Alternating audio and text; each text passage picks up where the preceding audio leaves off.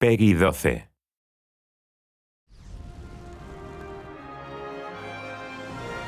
Welcome to MOBA Mastery number 2, where we'll give you some quick tips and strategies about Guardians of Middle-earth.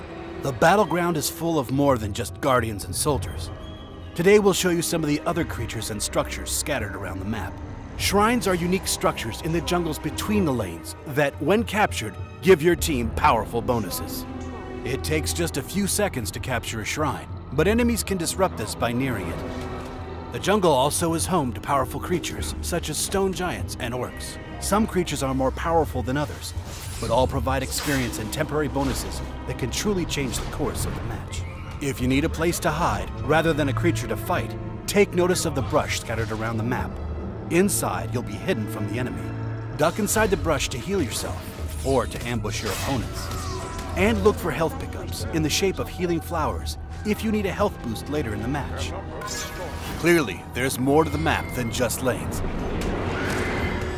Next time, we'll talk about Guardian classes and what happens when your Guardian dies. For more info, check us out at guardiansofmiddleearth.com and follow us on Facebook and Twitter.